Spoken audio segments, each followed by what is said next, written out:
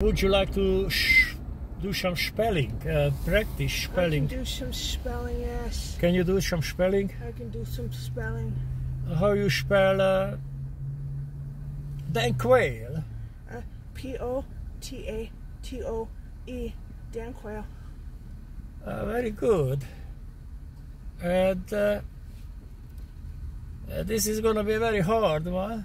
Uh, can you spell uh, Patrick Furley for me. Uh, A S S H O L E, Pat Furley. Excellent, excellent. You, uh, you're getting very good with spelling. Now I'm gonna make this very hard for you. Okay. Uh, can you spell uh, mayor? Mayor Pat Furley. Uh, uh, H U G S S H O L E. Uh, Mayor Pat Furley. Oh, it's very good. Could you repeat it, Josh, for uh, for make sure you you not not not forget, so you remember it when you go to the spelling bee. Yeah.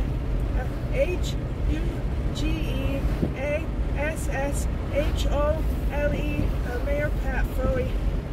Uh, very good. Uh, that's good. That's good. Yeah. I'm Sean Connery, a big actor with the uh, small lisp.